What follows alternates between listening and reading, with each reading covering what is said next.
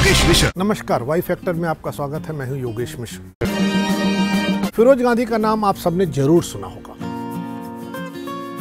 फिरोज गांधी भारत की पहली महिला प्रधानमंत्री इंदिरा गांधी के पति थे। आज की तारीख में कांग्रेस पार्टी के राष्ट्रीय अध्यक्ष राहुल गांधी के ग्रैंडफादर यानी दादा या बाबा कहे जा सकते इसी तरह फिरोज गांधी को भारत के पहले प्रधानमंत्री पंडित जवाहरलाल नेहरू का सन इन यानी दामाद कहा जा सकता है। इन सारी खूबियों के लिए, इन सारे रिश्तों के लिए आप फिरोज गांधी को जानते तो होंगे, लेकिन फिरोज गांधी को जानने के और भी तमाम कारण हैं। हालाँकि फिरोज गांधी को लेकर के आपको सोशल मीडिया पर तमाम तरह के तथ्य, तमाम तरह के कुतथ्य तमाम तरह के प्रचार पढ़ने और देखने को मिले होंगे। आपका, उनसे साबका पड़ा होगा। लेकिन फिरोज गांधी का ज़िक्र आते ही आपके दिमाग पर एक चित्र उभरना चाहिए, जिसका दृश्य यह होना चाहिए कि फिरोज गांधी भारतीय संसद के एक बहुत नामचीन सदस्य थे। उनको यह सदस्यता और यह शोहरत न तो इंदिरा गांधी से हासिल हुई थी, ना ही जवाहरलाल नेहरू से हासिल हुई थी। यह उन्होंने खुद ब खुद हासिल किया था। उन्होंने भ्रष्टाचार के खिलाफ, भ्रष्टाचार को समूल नष्ट करने का बीड़ा उस समय उठाया था। फिरोज गांधी का इलाहाबाद के आनंद भवन में प्रवेश इंदिरा गांधी की माँ कमला नेहरू के नाते हुआ था। वाक्य यह है कि जवाहरलाल नेहरू जेल में थे। उस समय कमला नेहरू कांग्रेस के लोगों के साथ छोटे छोटे धरना प्रदर्शन कर रही थी। उन्होंने इलाहाबाद के जीआईसी कॉलेज में एक धरना किया। धरने पर बैठी थी। फिरोज गांधी अपने दोस्तों के साथ कॉलेज की चार दीवारी पर बैठ के चकल्लस कर रहे थे, मस्ती कर रहे थे। धरने पर बैठी कमला नेहरू अचानक बेहोश हो गई। जो लोग धरने पर उनके साथ थे, उनमें भगदड़ मच गई। कमला नेहरू को उठा करके ले आया गया। एक पेड़ के नीचे लिटाया गया जहाँ थोड़ी सी छांव थी। उनके मुँह पर पानी के छींटे मारे गए। पंखा झला गया। कमला नेहरू की जब आँखें खुली तो फिरोज गांधी उनके चेहरे पर पंखा झल रहे थे। फिरोज गांधी वो शख्स थे जो उसके बाद कमला नेहरू को लेकर आनंद भवन आए।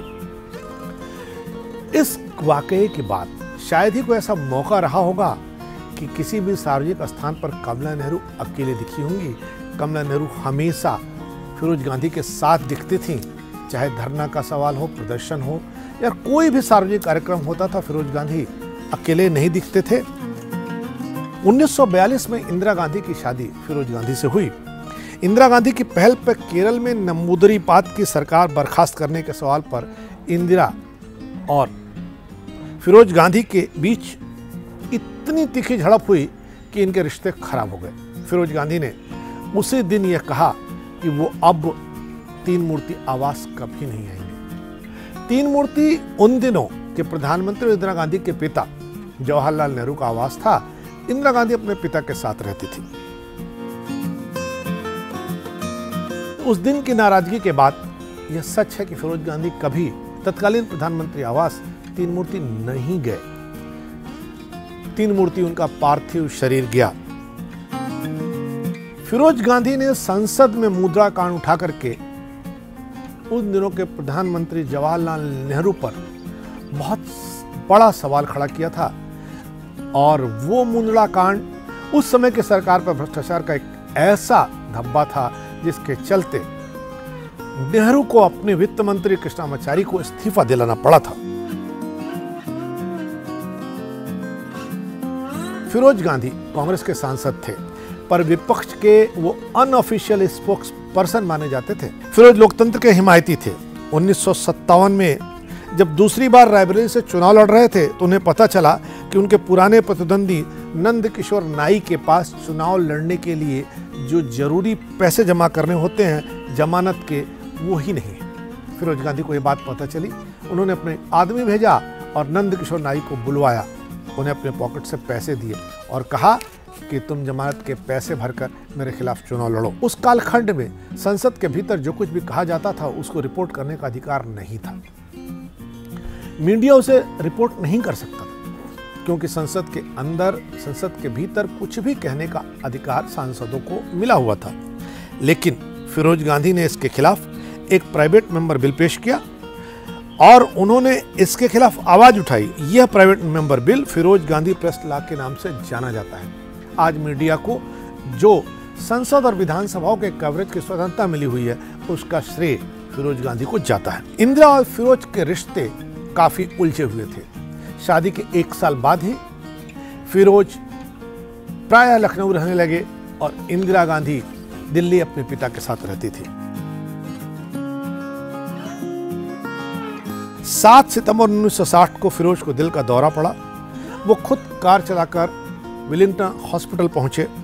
8 सितंबर को सुबह जब फिरोज ने प्राण त्यागे, तब इंदिरा गांधी उनके पास खड़ी थी। वह रात को ही त्रिवेंद्रम हवाई अड्डे पर पहुँचते ही इस घटना को सुनकर वापस एयरपोर्ट से दिल्ली चली आई थी। इंदिरा की जीवनी लिखने वाली कैथरीन फ्रैंक ने लिखा है, इंदिरा ने ज़ोर देकर कहा कि वो फिरोज के शव को नहलाकर अंतिम संस्कार के लिए तैयार करेंगे। उस समय वहाँ कोई मौजूद नहीं रहेगा। नैन तारा सहगल की माने तो नेहरू अकेले कमरे में बैठकर ये कह रहे थे उन्हें इस बात का इल्हाम ही नहीं था कि फिरोज इतनी जल्दी सब कुछ छोड़कर चले जाएँगे। 9 सितंबर को तिरंगे में लिपटे फिरोज की अंत्येष्टि दिल्ली के निगम बोध घाट पर हुई। राजीव गांधी ने अपने पिता फिरोज गांधी की चिता को अग्नि दी। कहा जाता है कि फिरोज को जब पहली बार दिल का दौरा पड़ा था तब उन्होंने अपने दोस्तों से कहा था कि मेरा अंतिम संस्कार हिंदू रीति रिवाज से करना, उन्हें।